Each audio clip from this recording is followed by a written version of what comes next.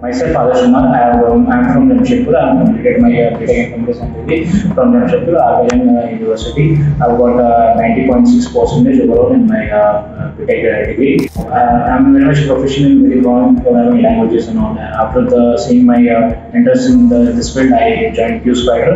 Uh, just a month before I joined Q Spider, and um, they teach me about uh, everything like uh, the testing, uh, what, what is testing about everything required to be a good uh, software tester and all the teaching everything. They even uh, faculties were very good. They even uh, pushed me for requirements. And for I joined from one month. In that one month only, I've got the placement uh, with the package of 3.2 LPA. I would thank to every every uh, faculties in the Q Spider. They helped me a lot. They helped me much. They, uh, they helped me uh, when I got the interview. Also, they helped me in uh, taking my grooming session about uh, how, how to uh, how will you uh, look forward for your interviews and all. How you give the interview. How to be calm and compose an interview. So they teach me everything from scratch. They teach me everything. I'm very thankful to the all, all the employees and uh, teachers who are working in Q Thank you.